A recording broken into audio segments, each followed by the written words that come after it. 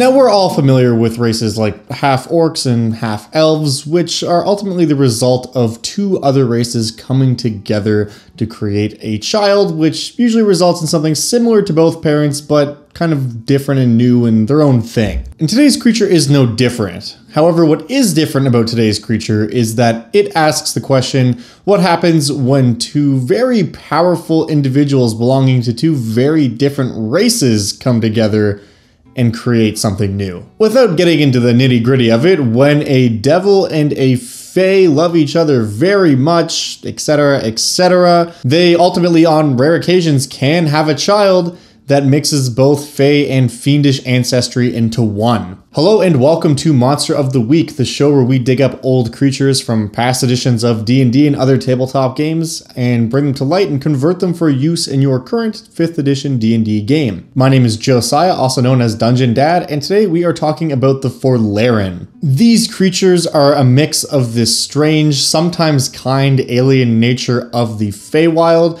and the fiendish brutality of the Nine Hells. And unlike most mortal races that are a result of two other mortal races cohorting with one another, these half breeds are extremely unique. Clocking in at a challenge rating of 2, they make a perfect addition to any low-level game or can even be used as an interesting plot device later on down the road. And of course they ask many questions about the world, the answers to which I find really interesting. So today we're going to talk about just exactly what these things can do in combat, and then we're going to talk about some plot hooks and various ways that you might want to use them in your D&D campaign. But first things first, we need to understand exactly how these things fight if it does come down to that, so we're going to take a look at some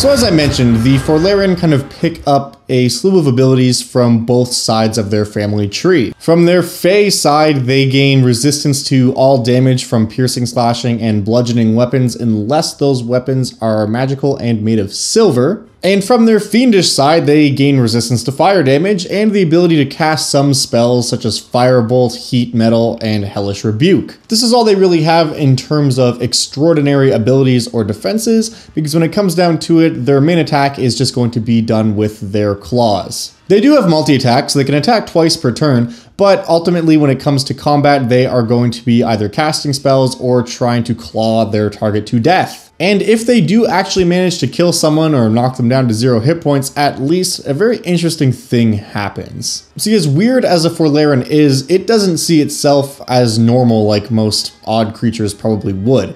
It knows that it comes from two very conflicting worlds and it kind of struggles with that identity. And not just in the capacity where its thoughts and feelings about itself can change one way or the other, it literally has a hard time grappling with its dual natures and what it is driven to do at any given moment. Because when it kills a creature, the Forlarren has to make a wisdom save. And if it fails that wisdom save, it becomes remorseful for what it's just done. It recoils back from the creature it's just killed and it is stunned for its next entire turn. However, the turn after it's stunned, so when it comes back into the fight, it comes back in with a renewed rage, almost as if it's angry at itself for even feeling that way, and all of its attacks have advantage for that turn and deal a little bit of extra fire damage. So fighting this thing in battle is sure to be a very interesting encounter anyways, and it's definitely going to be a roller coaster one way or the other. But as I said, these guys are only CR2, so that kind of sums up all this creature can actually do mechanically in combat. So let's take a moment and talk about some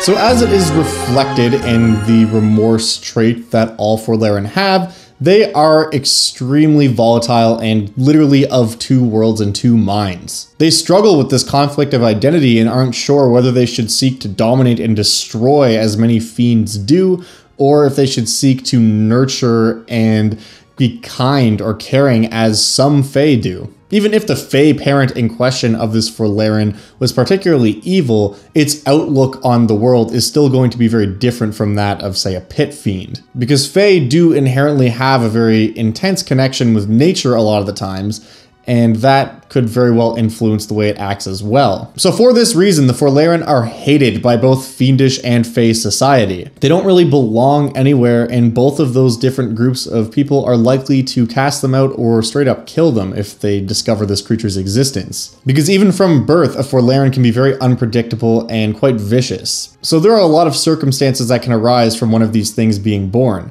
maybe the parents try to actually protect it and they elope together, which would be a really interesting encounter for your party to come across. Just this family that's made up of their Forlarren child and a fey and fiendish parents. Or maybe out of the two parents, one of them leaves and the one that ends up giving birth to this thing ends up being killed by the Forlarren if it's not a particularly powerful fey or fiend. Or maybe the parents kind of agree with their respective societies, regret what they've done, and they just abandon the child out in the wilderness, either out of fear of what it could do to them what it could do to their reputations, or just out of fear that they themselves may be cast out for even having this creature and engaging in this forbidden union. I mean, that right there could be a plot hook where the players have the option to help a pair of fey and fiendish parents who are trying to escape from their respective cultures. But at the end of the day, the sad reality is that most of these creatures do end up orphaned, and that kind of brings us to where the party will most likely come across a Forlarren. See, despite the fact that these things can live over 100 years easily,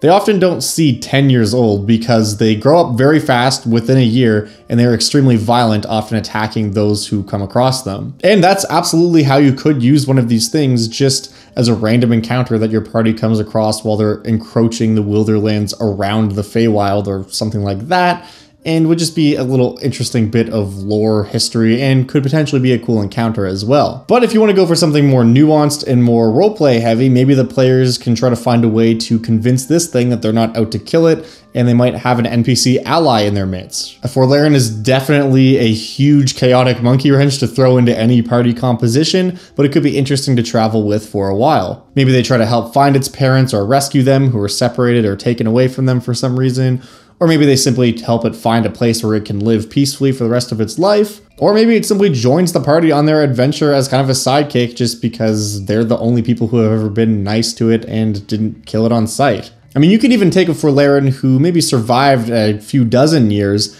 and is a bit older and wiser and has learned to control its inner turmoil a little bit better and make them an NPC with class levels. Because they are such a low CR creature, you could have one of these things that's maybe a level 10 wizard on top of that, or a level 10 rogue or something like that.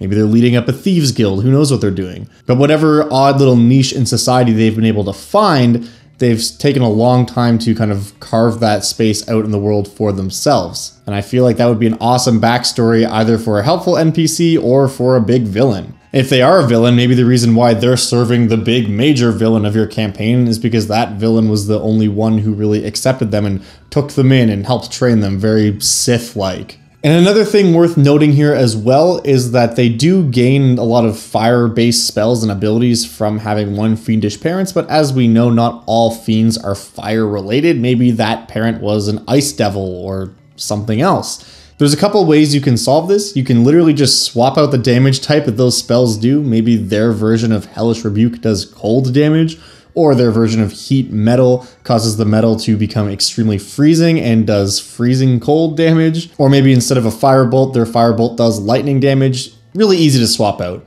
But if you wanted to, you could also just find other spells that are more thematic and literally built to be of that damage type and assign those. So instead of Firebolt, it has Frostbolt. If you want to up the CR a bit, maybe instead of Heat Metal, it has Cone of Cold.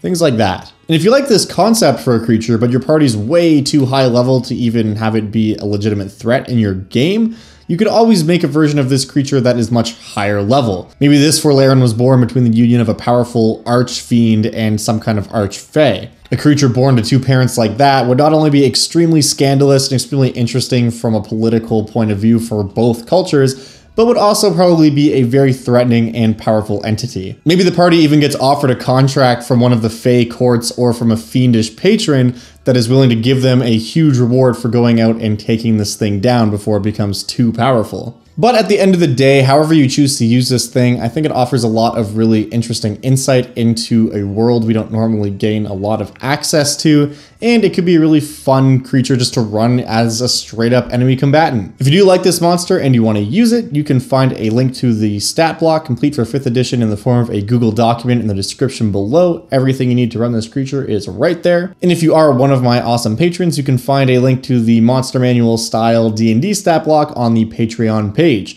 If you're not already one of my patrons, it is a fantastic way to support the show. And you get cool stat blocks made up for you. You get previews of what's coming up in the next week or so with Monster of the Week and other videos. And I'm also working on a new supplement now for the DMs Guild that's going to have a new subclass for every class, and all the playtesting material is being published on my Patreon as well. But if you still want to support the channel and you don't have the extra cash to throw around for Patreon, subscribing is the easiest and freest way to do that, and it helps me out a ton. But in any case, thank you so much for watching. I hope you found this video helpful, and if you've got any monsters from older versions of the game that you'd like to see covered in future videos, please leave a comment Get at me on Discord, tweet at me on Twitter, whatever your preferred method of communication is, and I will find that suggestion and add it to the list. So that's all for now. I'll see you in the next video. Until then,